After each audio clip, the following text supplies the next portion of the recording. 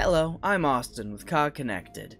Recently, I decided to go back and replay Horizon Zero Dawn with its sequel coming out just next month. And it holds up exactly as well as I remember it. It is an absolute masterpiece that I can't recommend enough. It is also a game that Ubisoft could learn a lot from. I don't really enjoy Ubisoft games or most open world games these days.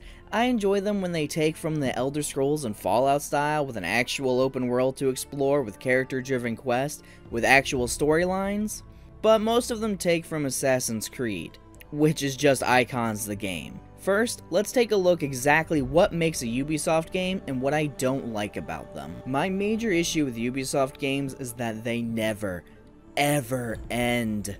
The heat death of the universe will happen before you beat a Ubisoft game. Oh, and you want to actually complete one? Have fun spending a billion hours collecting absolutely useless stuff, like feathers. This is compounded further by the fact that they never just have one useless collectible, each Ubisoft game has to have like 10 different collectibles that you have to waste your time gathering. Another issue I have with Ubisoft games is the map size.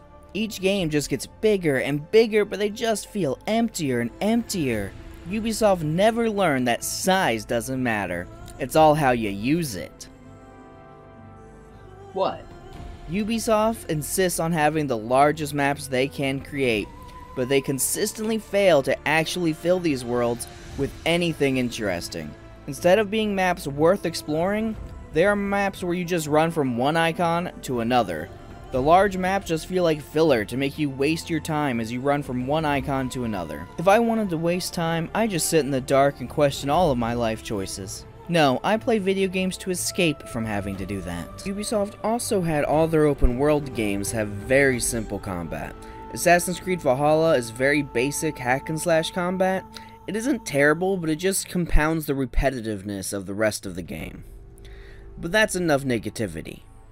For now. I mainly want to talk about Horizon Zero Dawn and just how good it is despite being quite similar to a typical Ubisoft open world game. If you don't play it and only looked at it, you could be mistaken for thinking it is another Ubisoft game.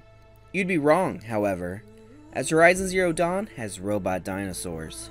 Does Assassin's Creed or Far Cry have robot dinosaurs? I think not. Okay, so the robot dinosaurs are actually really important in making Horizon Zero Dawn stick out. Besides being absolutely awesome by combining two things everybody likes in robots and dinosaurs, they are engaging to fight. These aren't traditional enemies in Far Cry where you just shoot them and move on. Each creature has strengths and weaknesses and armor covering some of those weaknesses, so you have to plan out exactly how you want to take these creatures down. You can focus fire on a creature's weapon, knock it off, and then use it for yourself. Or maybe you don't want to risk moving slow while using the heavier weapon. Well, you can utilize your agility to pick off other sensitive parts. Perhaps switch to elemental arrows to target weak point to cause an elemental explosion to deal big damage. The choice is yours. All of these creatures are engaging to fight, and it never becomes stales. Except for Glinthawks. Glint Hawks make me sad. Flying around like they own the place. What, think you're better than me? Well, you are. It also helps that there is a large variety of robot dinosaurs to take down, from small deer-like creatures to giant sandworms straight out of Dune. Horizon Zero Dawn is constantly throwing new enemies at you. This goes a long way to keeping you on your toes. You never know just what combination of machines and humans you may need to fight. Besides robot creatures, you will fight human enemies that are the typical cannon fodder seen in Far Cry. You shoot them, they die. They are easily the weakest part of the game, and are most reminiscent of a Ubisoft production. They just lack the same depth and excitement as the machines. If you had to pick off their armor by hitting certain spots, like with the machines, I think it would be more engaging. As I stand, they are just kind of forgettable. But what am I talking about? This isn't a review of a 5-year-old game. This is about what a 5-year-old game can teach Ubisoft. So what can Ubisoft learn from Horizon Zero Dawn? Well, they can learn that actually interesting combat goes a long way. They can also learn that sometimes less is more. Horizon Zero Dawn only has 6 bandit camps.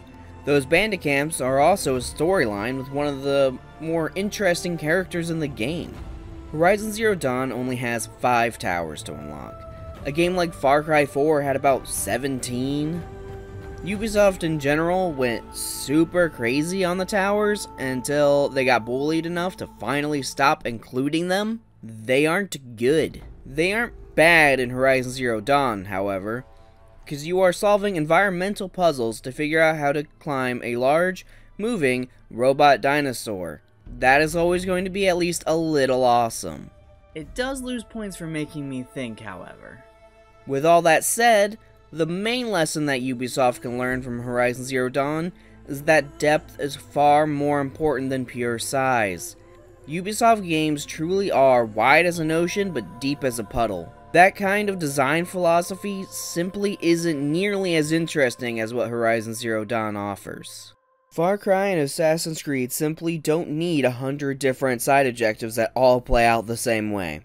Have fewer but more detailed quests and side events will go a long way to making the game feel fresh.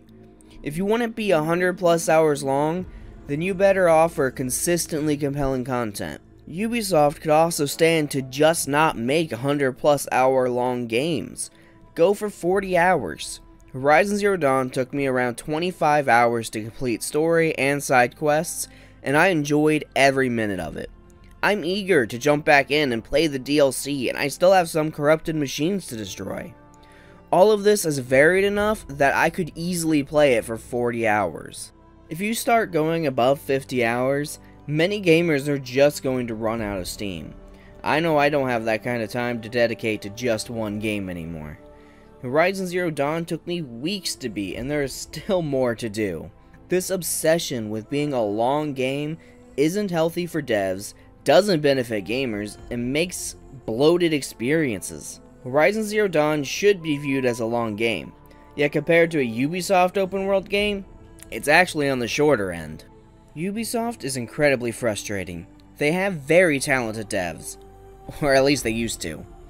They just insist on crippling themselves by homogenizing their games and releasing shallow experiences.